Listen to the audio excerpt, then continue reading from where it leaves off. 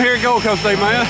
Just do some skydiving. Why would you want to do something crazy like this? Because it's my stepdad's 50th and we're gonna celebrate his 50th There you go. So whose idea was it? Stepdad. Ah. That's my little sister, my Hey. wife, her boyfriend. Hi, buddy. Where you from? From uh, originally from New Orleans, I live in Carriere. Okay, not a problem, buddy. Well, in just a second, we're going to climb on out. We're going 14,000 feet above Lumberton. And then Paul, yeah, he's kind of getting ready. How ready. you doing, Jason? Hi, I'm Paul. I'll be your instrument of destruction today. He's going to help you out of the plane. We're going to fall out at 120 miles an hour over Lumberton. Good. All right? you got anybody you need to say something to at home? See you when I get down. There you go. All right, buddy. I'll see you